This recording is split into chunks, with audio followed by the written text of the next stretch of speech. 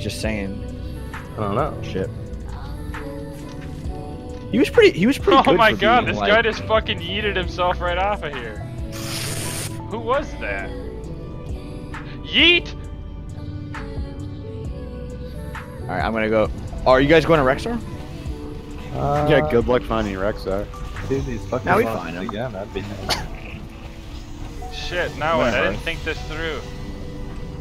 Whoa, there's a skeleton over here. What the hell? Unfired plate gauntlets? What is this? I just discovered a fucking item.